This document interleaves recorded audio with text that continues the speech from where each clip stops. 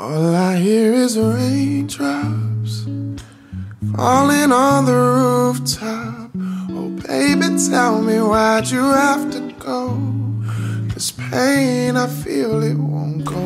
Oke, Assalamualaikum warahmatullahi wabarakatuh Selamat datang kembali di channel Zain Remana Di channel ini, saya nggak akan ngejelasin soal satu kata Dan juga nggak ngomongin soal isme, ya Tapi kembali ke segmen curhat, ya Jadi kalau teman-teman pengen curhat DM aja ke Instagramnya Zain Remana Nanti kemudian akan saya bahas di YouTube ini ya Seperti apa bahasannya. Karena sering kali apa yang dicurhatkan itu kisah-kisah yang dicurhatkan kemudian juga itu dialami oleh teman-teman yang barangkali nyimak ya. Jadi ada beberapa video yang komennya sampai panjang banget. Ternyata curhatannya kasusnya itu hampir mirip. Dan ketika apa yang saya bahas uh, si kasus itu dari sudut pandang psikologi itu sangat uh, related ya relatable ya ini ada sebuah kasus yang menarik ya yang curhat lewat Instagram nih menariknya seperti apa jadi kayak gini ya. Ada yang curhat katanya, beliau ini yang curhat adalah seorang perempuan. Dia menikah dengan seorang duda ya yang usianya 50 tahun. Udah beranak tiga. Nah, suaminya ini, suami sahabat kita yang curhat ini, dulu tuh punya masalah yaitu di dalam rumah tangganya si suaminya ini dulu diselingkuhi sama istrinya, istri yang dulu dan sehingga gara-gara istrinya selingkuh itu kemudian mereka bercerai. Nah, yang jadi masalah itu kemudian eh, setelah setahun menikah sama si sahabat kita yang curhat ini, sang suami ini tuh nggak berhenti menceritakan tentang istrinya. ya, jadi uh, bukan cuma nyeritain istrinya tentang hal yang buruk, tapi juga nyeritain soal masa lalunya ketika bareng sama istrinya. Nah, si sahabat kita yang curhat ini udah ngingetin ke suaminya, tolong jangan bahas lagi masalah mantan istrinya ya. Karena kemudian bikin si sahabat kita yang curhat ini, yang DM ini jadi kesel. Dan benar aja, nah si sahabat kita yang DM ini kemudian bilang, dia malah jadi pulang ke rumah orang tuanya. Gara-gara si suami itu nggak berhenti nyeritain masa lalu dan juga nyeritain tentang mantan istrinya. Nah pertanyaannya kayak gini dari si sahabat kita yang DM ini, Menurut Kang Zain, apakah dengan meninggalkan rumah suami saya itu merupakan jalan terbaik atau saya harus gimana? Oke, sampai di sini saya stop dulu kisahnya. Silahkan teman-teman barangkali ada yang ingin berkomentar. Boleh di post dulu, lalu scroll ke bawah. Silahkan ketikkan komentar teman-teman di kolom komentar ya. Kira-kira menurut teman-teman, eh, sahabat kita yang DM ini sudah tepatkah eh, pergi dari rumah ya pulang dulu ke rumah orang tuanya lalu kemudian pertanyaan saya malah kayak gini apa kira-kira yang terjadi di ruang pikir dan ruang rasa sang suaminya dan juga apa yang kemudian menyebabkan apakah wajar ya si sahabat kita yang DM ini kemudian marah dan memilih untuk pergi dulu dari rumah? Coba komen dulu di bawah post dulu ya. Officially, all I do is lay around. To ease full of tears. Nah, kita coba bahas dulu dan coba memahami apa kemudian yang terjadi kira-kira ini ya. Kita lagi coba berempati dan coba masuk ke ruang pikiran dan ruang perasaannya sang suami ya. Suami sahabat kita yang curhat ini, yang DM ini. Kita bayangkan aja gini. Ada seorang laki-laki ya uh, umurnya sudah 50 tahun 50 tahun loh umurnya uh, berarti kan sudah menjalani pernikahan cukup lama ya uh, sudah cukup matang kehidupannya barangkali di posisi yang sudah cukup matang dan mapan gitu ya udah berpengalaman ya cukup berpe, ya 50 tahun lah ya berarti sudah berpengalaman dalam uh, asam garam kehidupan lalu punya anak tiga ya Berarti artinya berumah tangganya pun sudah lama dengan si istri lama ini. Oke, bayangkan di posisi dia umur 50 tahun ya. Nah, kira-kira nih kalau ternyata masa idah itu enam bulan misalkan ya dan pencarian proses pencarian setahun atau enam bulan Berarti kan di umur 50 tahun ini dan pernikahan dengan sahabat kita yang DM itu sudah setahun, artinya diselingkuhinya itu di umur 47 atau 48. Maka kita mundur ke umur eh, ke benak seorang pria di umur 47 atau 48. Nah, bagi seorang laki-laki umur 47 sudah beranak tiga dan kemudian sudah menjalani rumah tangga yang cukup panjang, ada istilah psikologis itu namanya transaktif memori ya.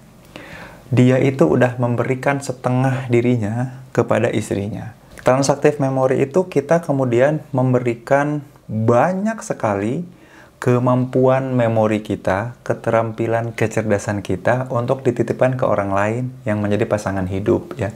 Jadi contoh, contohnya banyak hal-hal yang tadinya bisa aku pikirkan sendiri, bisa aku kerjakan sendiri.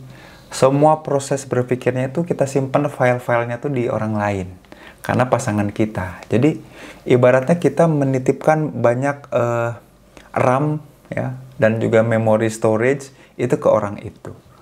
Oke, jadi kita menyim, banyak menitipkan keterampilan intelijensi kita, proses informasi, semua data-data kita sengaja kita simpan dan kita titipkan padanya. Dia pun kita pikir begitu. Sampai di satu titik di mana pada akhirnya si suami ini mengetahui bahwa istrinya ternyata selingkuh. Wow. Makanya kenapa ketika kita kehilangan seseorang, maka separuh diri kita pun akan pergi ya separuh diri kita jadi menghilang. Separuh diri kita tuh se seperti yang kosong. Kenapa? Tadi ada proses yang namanya transaktif memori. Kita menitipkan sesuatu yang tadinya bisa kita lakukan sendiri berharga buat kita kepada orang lain. Nah itulah kenapa e, menikah itu penting buat seseorang karena membantu dia meringankan beban hidupnya lewat proses transaktif memori itu. Nah ketika kemudian ada sesuatu dalam pernikahannya, itu akan jadi beban berat bagi kehidupan seseorang. Termasuk bagi si suami sahabat kita yang curhat ini, ya. Nah, kita mungkin sudah mulai berempati soal kondisi si suami ya. Maka apakah akan mudah melupakan kejadian itu uh, di umur 47-an tahun yang sudah sangat lama menjalani mahligai rumah tangga, kemudian tiba-tiba disia-siakan begitu saja dan barangkali mungkin debatnya, konfliknya dan proses sakit hatinya panjang. Memang time will heal tapi waktu akan menyembuhkan tapi ini akan proses yang panjang. Nah, saya nggak tahu nih sahabat kita yang DM ini apakah kemudian dari single langsung nikah, baru nikah sekali atau udah pernah nikah sebelumnya tapi sepertinya sahabat kita ini pun juga mungkin uh, belum begitu sabar untuk kemudian bisa jadi kan setahun itu belum terlalu lama, belum cukup lama untuk kemudian bagi seseorang membangun transaktif memori baru. Gitu. Nah, kalau sepemahaman saya, se Kenapa saya bilang sepemahaman saya? Karena saya harus tahu cerita detailnya ya. Apa obrolan yang membuat sahabat yang DM kita ini marah? Apa pemicu utama atau akumulasi apa sih yang kemudian membuat sahabat kita yang DM ini kemudian marah dan mengamuk gitu ya atau sampai pergi dari rumah. Tapi gini, baru satu tahun transaktif memori dengan pasangan belum kebangun sudah mulai pergi dari rumah. Padahal proses healing seseorang itu selain butuh waktu, juga butuh progress.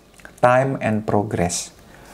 Jadi semakin panjang waktunya, mestinya progresnya semakin baik. Mestinya. Dengan syarat ada yang ngedampingin. Nah, kalau orang yang kemudian dipercaya, dicintai, dan berkomitmen, si suami ini berkomitmen sama si sahabat kita yang DM ini untuk membangun rumah tangga, tapi dia kemudian memilih pergi kan sakit ya bagi si suami itu makin sakit gitu. Padahal ya itu lagi proses healing.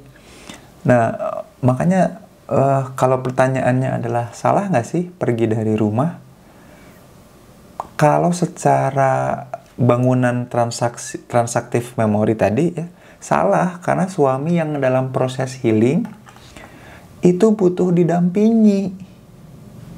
Kalau kita sebagai istrinya malah pergi ya salah. Karena kita nggak ngefasilitasi dan ngebantu dia proses healing. Sambil sebetulnya sambil ngedamping itu sambil ngebangun proses transaktif memori baru. Mestinya kan gitu.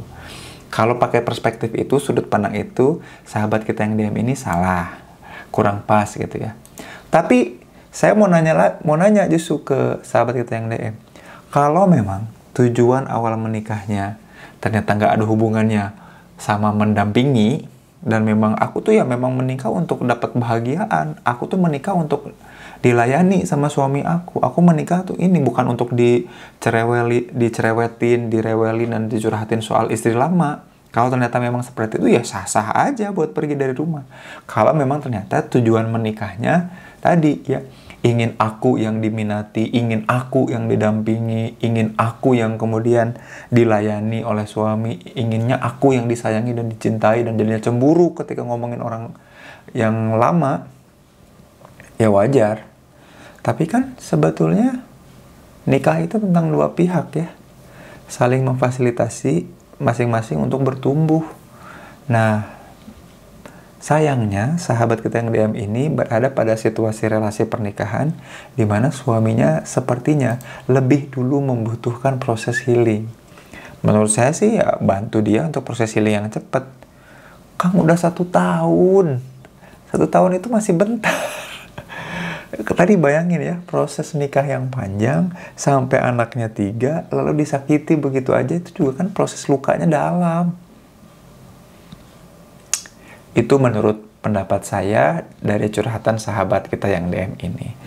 Nah bagaimana pendapat teman-teman? Uh, saya nggak sabar buat nyimak seperti apa komentar teman-teman di DM kalau nggak setuju komentar juga di bawah ya. Atau teman-teman punya perspektif lain sudut pandang lain. Tapi mudah-mudahan sahabat kita yang DM ini dikuatkan, ditambahkan, dan kemudian menemukan jalan keluar terbaik buat dirinya, keluarganya, pasangannya, dan orang-orang di sekitarnya. Buat teman-teman yang mau DM juga, DM aja ke Instagramnya Zian Permana. Sampai jumpa di sesi-sesi curhat yang lain. Makasih ya, pamit. Assalamualaikum warahmatullahi wabarakatuh. Every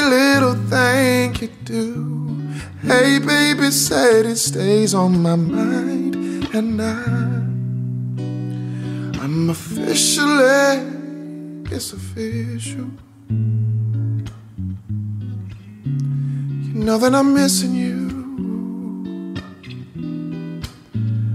All I hear is raindrops, oh yeah.